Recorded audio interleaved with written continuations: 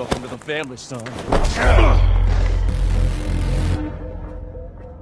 Resident Evil 7 was a surprise for everyone when it came out. Not only did it forego the action horror formula that the franchise had been working with for the last few years, it ended up being a genuinely good horror game. And in my opinion, one of the best horror games that's come out in a while. From the setting to the enemies to the ever present feeling of danger, it's an experience that, even on a second and third playthrough, managed to freak me out.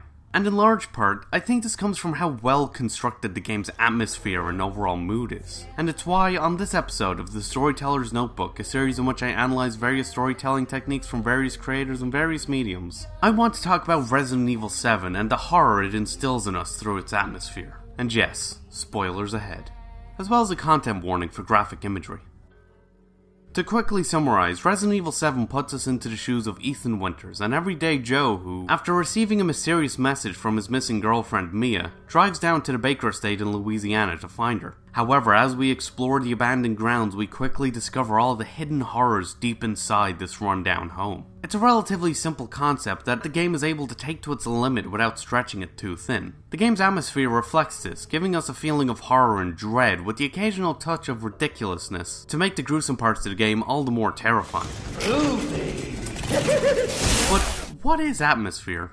To put simply, it is the overall feeling or mood that a story gives to its audience, and is created through a story's setting, tone, and focus. Setting is, well, where a story is set. The location of a story can influence how we perceive its atmosphere and how we react to it. Resident Evil 7 takes place in an abandoned ranch in the Louisiana countryside. This kind of location immediately brings to mind a cacophony of backwoods horror films filled with psychotic hillbillies and forest dwelling demons, and it makes us wonder if one of said monstrosities is stalking us, just out of sight, waiting for us to make a wrong turn. From the idea of the setting alone, the game has already managed to put us on edge. And this tension is amplified when we enter the Baker's land. Though we're introduced to the estate on a nice sunny day, the first house we enter, the guest house, is dark, drab, and run down. It's fallen into disrepair. Bugs roam around everywhere, and rotting bits of food and birds stink up the place. There are newspaper clippings around the house that warn of a string of disappearances and a few photos that give off the impression that whoever lived here was.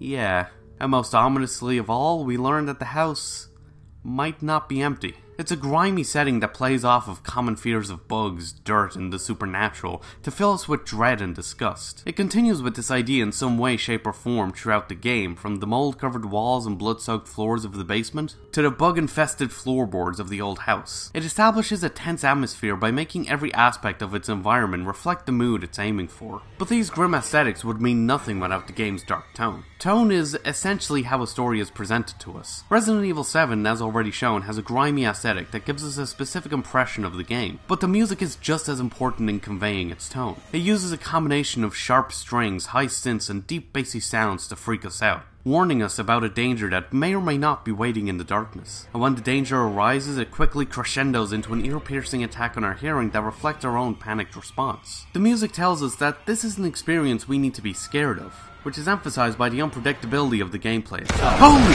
fucking Christ!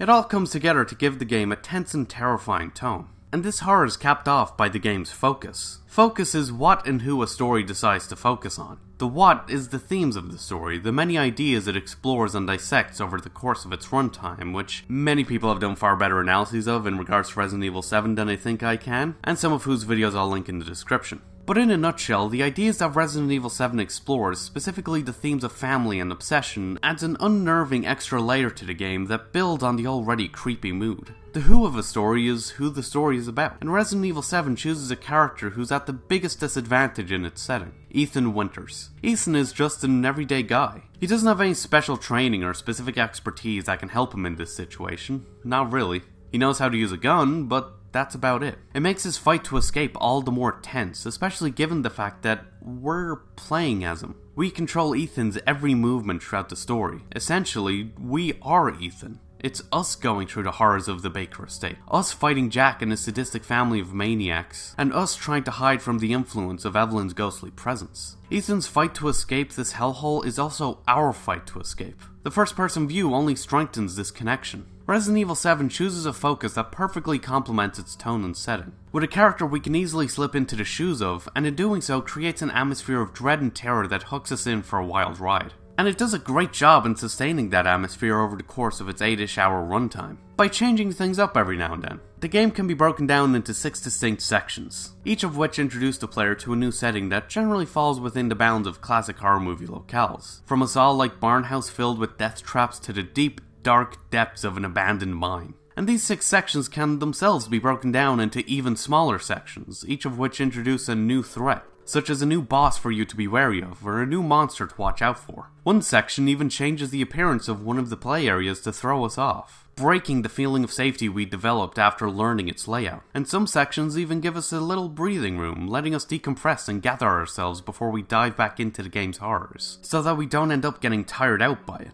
By throwing in a bunch of twists and turns throughout the story with new settings, new obstacles, and brief moments of respite, the game maintains its dark and grim atmosphere over a long period of time and stops it from becoming stale. However, toward the end of the game, something about the atmosphere shifts. In the second part of the fifth section, when you play as Mia in a flashback sequence, the dread and horror the game had so excellently managed to build up falls apart. Though there are several factors to this, I think one of the bigger reasons is the way the game changes focus in this section. It's no longer about an ordinary guy trying to escape a nightmare house, it's about a special agent with a machine gun trying to capture an objective. This is pushed even further when we start playing as Ethan again and both literally and figuratively blast our way through an abandoned salt mine to find and kill Evelyn. And though it does reflect Ethan's growth as a character, it leaves the end of the game feeling lacking compared to the rest of it especially since it already paid off said character growth in our third confrontation with Jack. It shows how much the different aspects that make up a story's atmosphere affect each other, and how even a slight shift in any of them can have a domino effect on the others that ends up changing the story's mood entirely.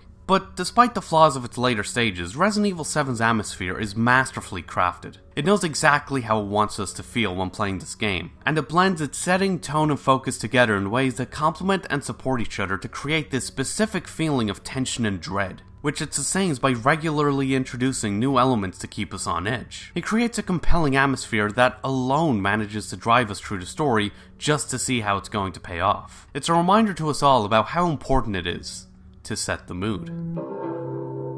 And yeah, those are my thoughts. Tell me what you think. If you agree, disagree, if you like the new direction Resident Evil is going in, what horror games you like, etc. And thanks for watching. If you enjoyed this and want to see more, check out my last video where I talk about why The Punisher is so fun to watch. Or check out the last episode of The Storyteller's Notebook where I analyze the ancient Magus Bride, Those Awaiting a Star, and how it creates an emotional connection with its audience. And don't forget to like, comment, share, and of course, subscribe to come fly with me. And hopefully, I'll see you later.